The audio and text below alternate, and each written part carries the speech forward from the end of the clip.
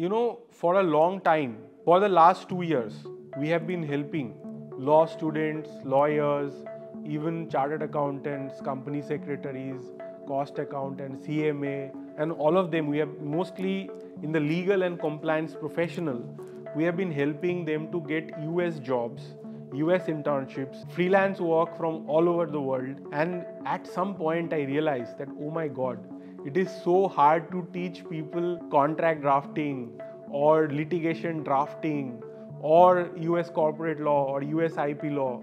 It actually takes people six months, one year. Some people learn in three to four months, but it takes some time for people to get enough skills to monetize that skill after that.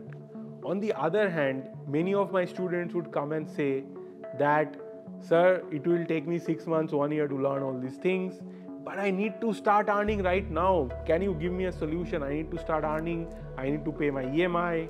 I need to, uh, I have some obligations. What can I do? And then we realize that we can help them to get very easy kind of work. So, for example, data entry, translation, transliteration, transcribing of any kind of audio recordings, and there is so much other work also. We started there, we were able to help them to find jobs in startups where they were doing different kind of startup generalist work.